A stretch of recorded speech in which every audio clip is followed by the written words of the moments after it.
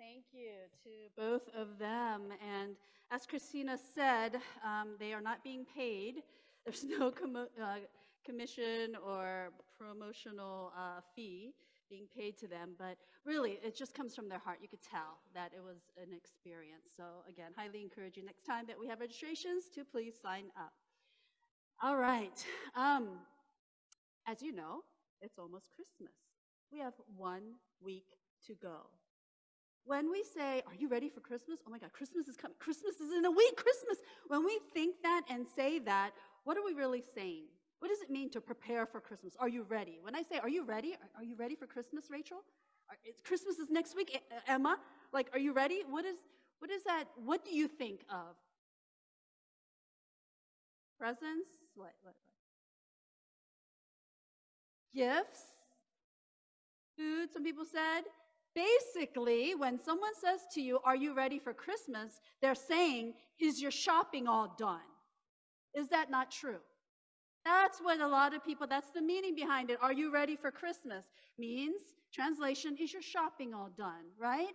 And that's what I think we as a, a um, you know, society have really changed that to. When we think Christmas, we think, oh my gosh, the stress of gifts. Gift giving is paramount. Can I afford them? Am I going to have to fight the crowds? Is it going to be empty shelves and, you know, just buying things? But you know, it's not very often that December 25th falls on a Sunday. It's not very often at all. And next Sunday, it is Christmas Day, December 25th.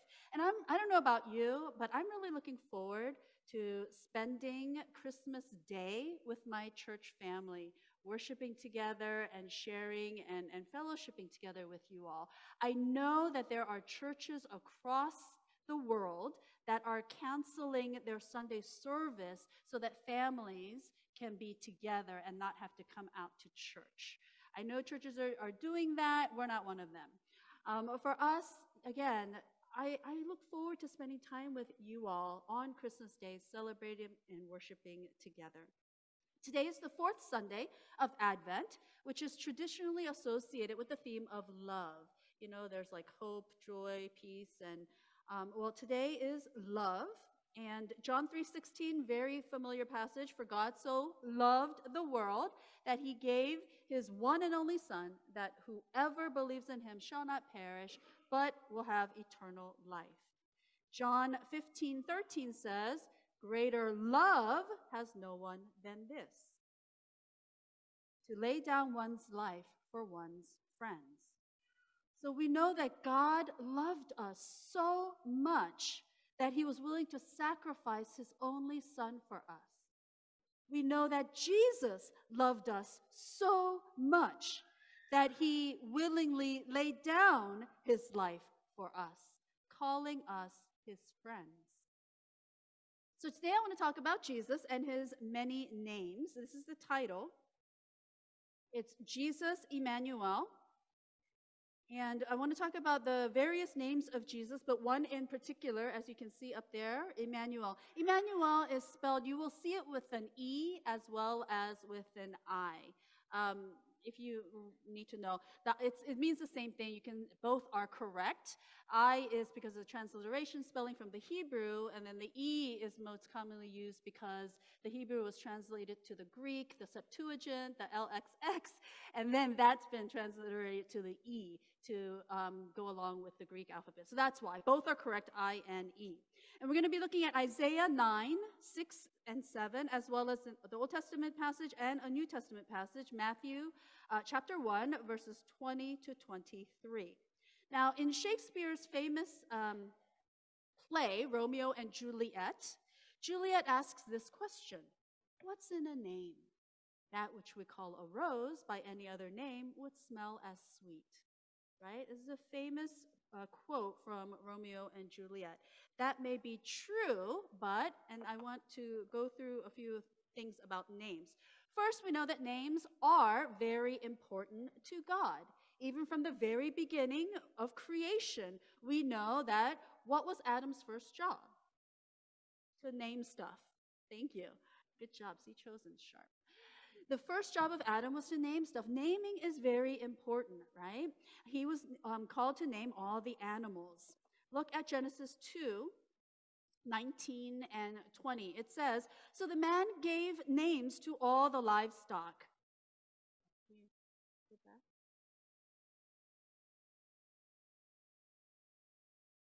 Okay. Now the Lord God had formed out of the ground all the wild animals and all the birds in the sky. Is this correct?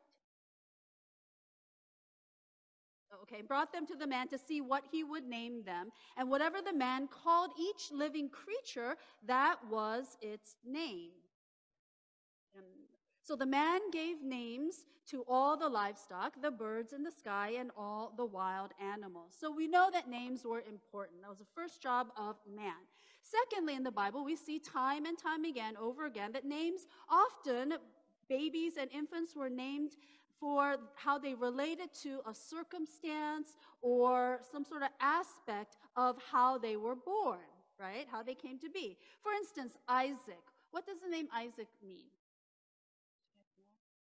Laughter. Very good. Isaac means laughter. It's because Sarah said, quote, God has brought me laughter because she and Abraham, she felt, were too old to be with child. And so when she was told that she was going to have a child at that old age, she laughed, right? And then the baby that was born from that was called Laughter, Isaac. Now, Jacob. Jacob's name can mean a couple things, but it can also mean, uh, one of them can mean a deceiver, right? And he was Esau's twin, and you know how he deceived their father to get the birthright, right? You know the story. And then Moses. Moses' name means to draw out. And we know that Pharaoh's daughter drew the baby Moses out of the Nile River, hence, and then named him Moses.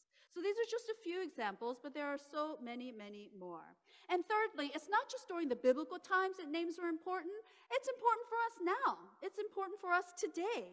Parents, all of you guys who are parents, prayerfully and really, really consider carefully when they choose the names of their unborn child. When we have infant baptisms, is it not the norm that when the parents are up here sharing their testimony about why and why they um, are having their child baptized, they normally always include information about why and how they came to choose their kids' names, their babies' names, right?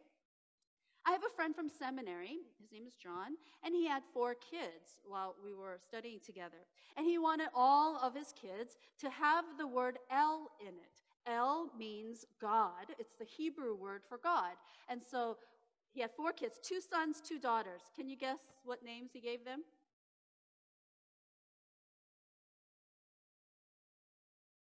Two boy names and two girl names. You, you guys probably aren't going to get the girl names, but the two boy names are going to be easy. El. No, not Elijah. What'd you say?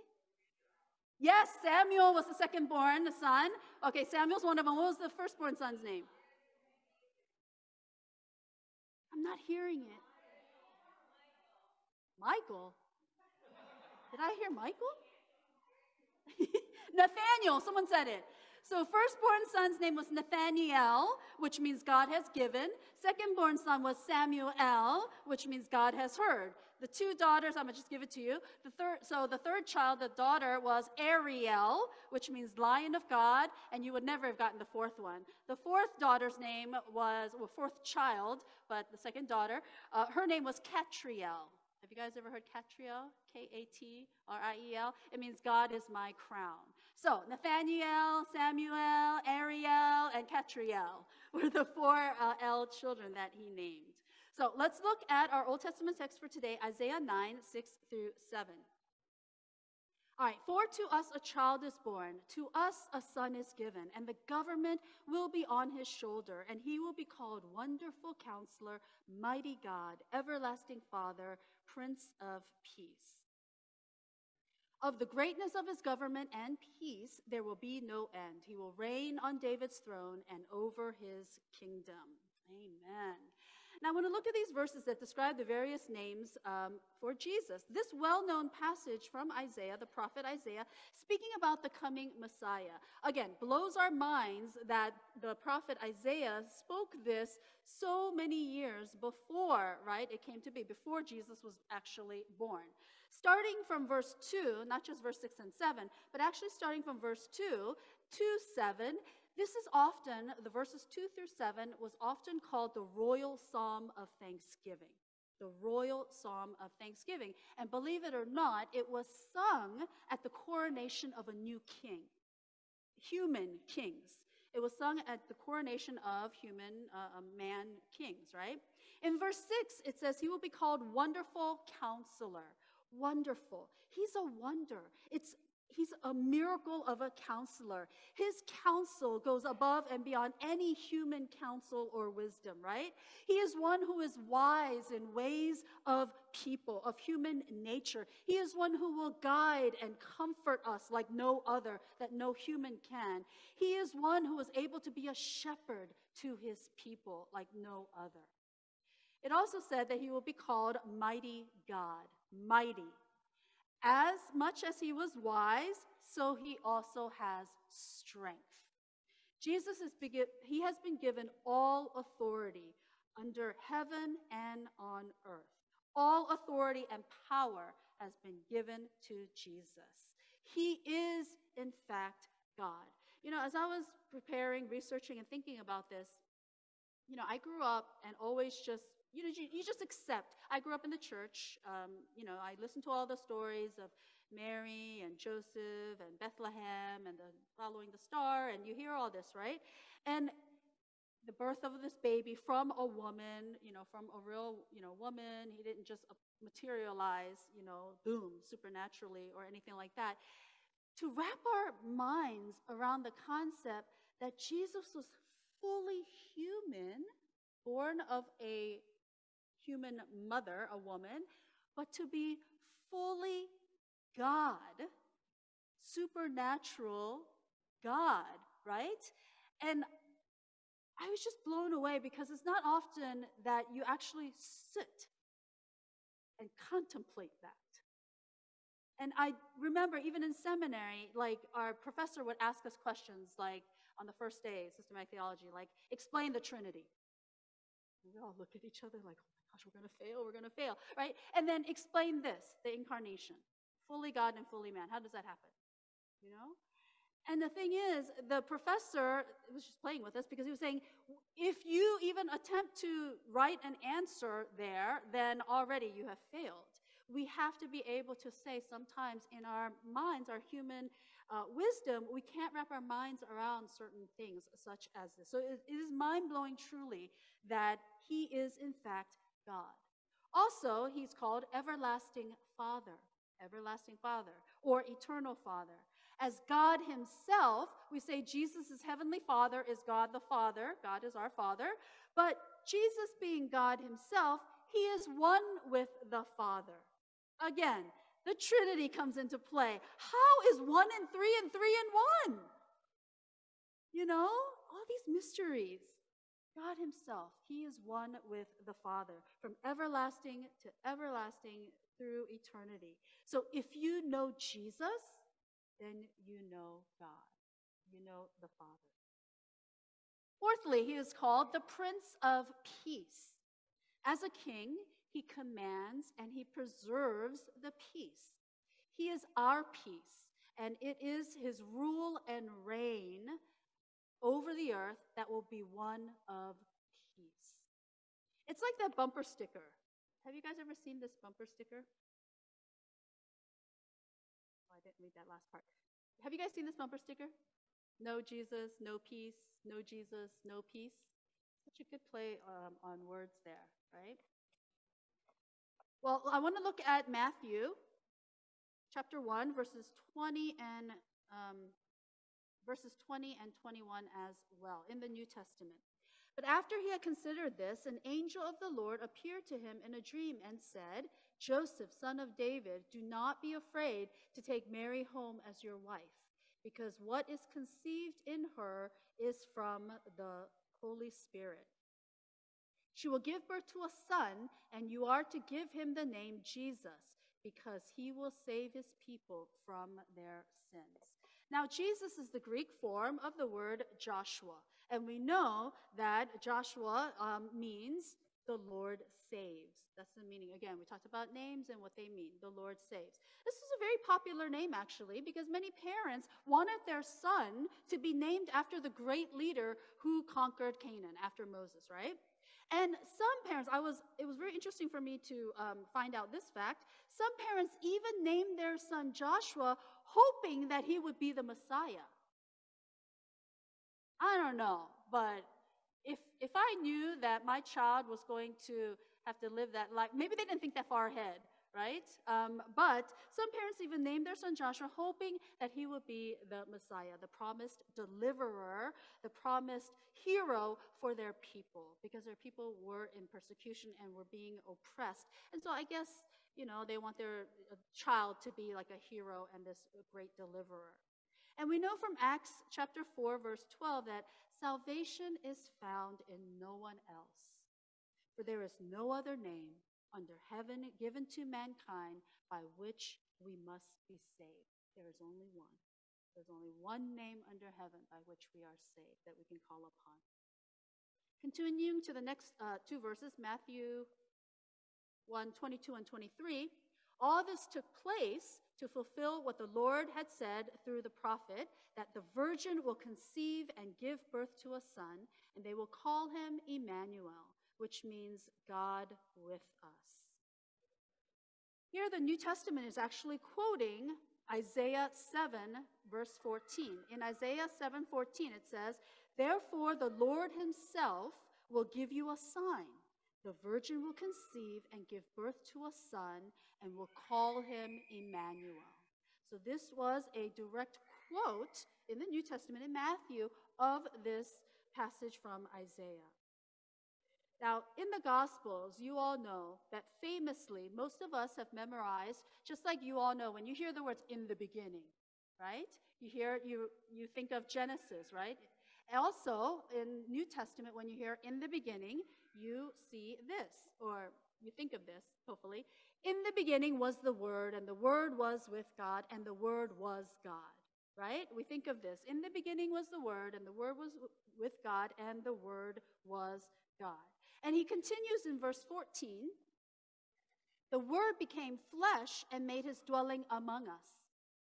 We have seen his glory, the glory of the one and only Son, who came from the Father, full of grace and truth. The Word became flesh and made his dwelling among us. How incredible is that? How unfathomable is that to think that there is a God, but the God came, became flesh, and dwelled among us? Look at this quote. I don't know how many of you guys know history or have heard of this guy, James Irwin. He's an astronaut. He's the eighth person to have walked on the moon, I found out. Eighth person to walk on the moon. This is a quote that he said There's something more important than man walking on the moon, and that is God walking on the earth. Wow, right? What, every time I read that, I'm like, there's something more important. Can you imagine if you were alive back then when the first person, human, was able to walk on the moon? You know, we are going into space, spaceships, space shuttles, you know? I mean, just the, the, how amazing that was to think that humans were able to design such things that could fly into outer space and land on a moon. That's incredible to us, right? How big that must have been. He is one who did it. He is one that actually stood on the moon. And he says, There's something more important than man walking on the moon, and that is God walking on the earth. How amazing is that?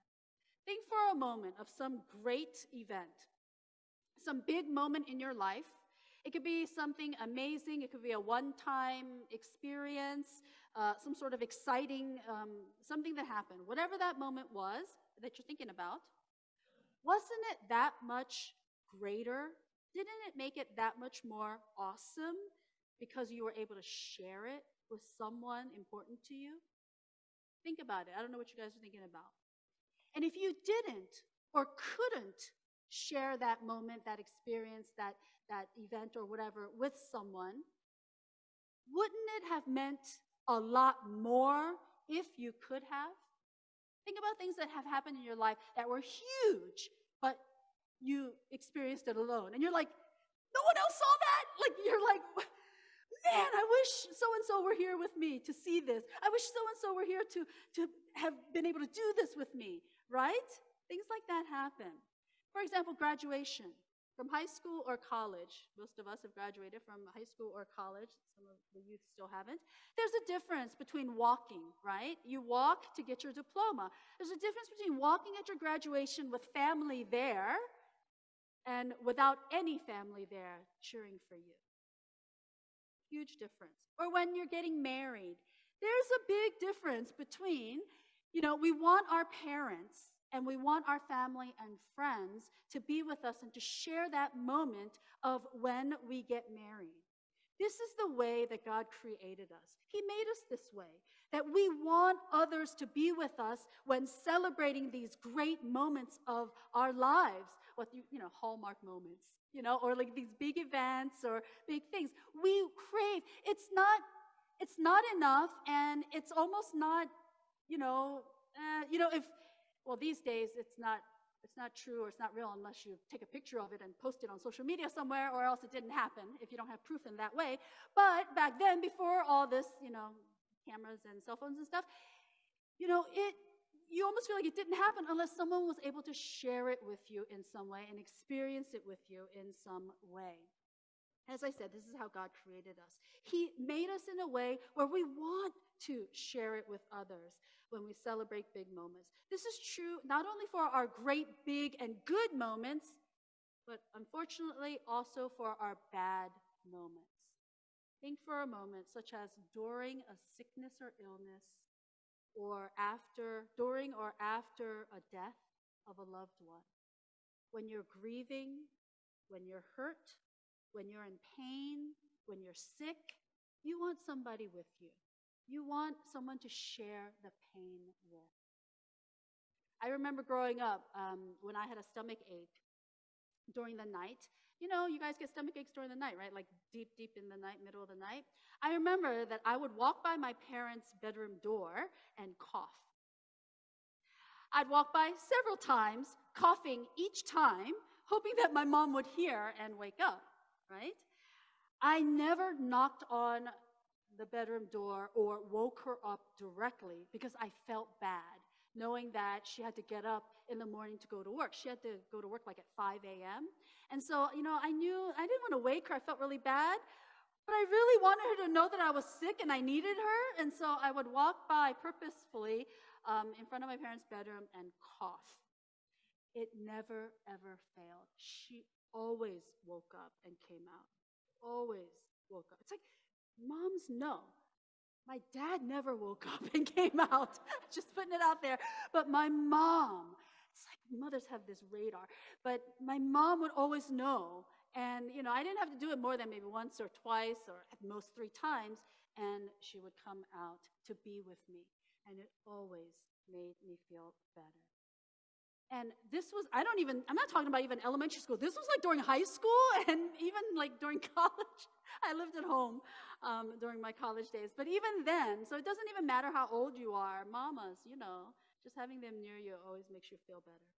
And our deepest desire as humans is to know that God is near, is to know that God is with us, and that we are never alone in this world in what we go through. The question for most people is not, is there a God? The question that most people ask is not, is there a God? The question, I believe, that most people ask is, is God truly with us? Not questioning that there is a God, but is that God truly with us? Throughout the Bible, God shows us that indeed He is faithful to the promises that He has given. Even with Abraham, you all know in Genesis 26 3, God says, I will be with you and I will bless you. And you know, God certainly blessed Abraham more than the stars in the sky, right? With descendants galore. Then later, Abraham's grandson Jacob doubted that God was with him. But you know what happened there? One night, Jacob had a dream. Jacob had a dream, and um, where God came to him, and God said to him in the dream, Jacob, I am with you, and I will be with you wherever you go. Genesis 28 15. And when Jacob woke up from the dream, this is what he thought. First thing he says is, Surely God is in this place, and I did not know it. And also after the death of Moses, great Moses, you know that God spoke to Joshua. And God says to Joshua, No one will be able to stand against you all the days of your life. As I was with Moses, so I will be with you. I will never leave you nor forsake you. Joshua 1 5. So, in one week, it'll be Christmas. We celebrate the birth of Jesus, the one who is called Emmanuel, God with us. And that's the message of Christmas. It's not that God will keep us and protect us from disappointments and the messes of our lives, but rather that God is with us during those times. And oftentimes, most of the times, that's enough. My mom's not a doctor, but when I'm feeling sick, simply her presence, even though you know how old I am, even now, when I'm not feeling well, just thinking and having my mom near, her being with me is enough. Many of us operate on emotions and feelings. And so, you know, it's easy for us to say, God's not here because I don't feel him, right? We say, I don't feel him. God's not with me because we operate out of this, you know, feelings and emotions. Well, the truth is, you can see this slide, the truth is, Emmanuel, God with us. God with us. And that is the truth of Christmas. One of his wonderful names is Emmanuel, God with us. As the praise team comes up, I want to ask you to do something. I want to ask you to think over this past year. Think about this past year. We only have um, one week, two weeks left of this year. Think during 2022, think about the ups and downs. Think about the highs and the lows. Think about your joys and your challenges. All that you've experienced, all that you've went through, the good stuff, the bad stuff. And I want you to say, you can say it out loud, you can say it in your mind, you can say it, but truly in your heart, that through it all, Emmanuel, God was with me. And as we look ahead to 2023, as we try to change things in our behavior, as we make New Year resolutions, as we try to be better in the new year, we look ahead with hope. And I want you from your heart to be able to say, Emmanuel, God will be with us. Amen. Amen. Let's all stand together.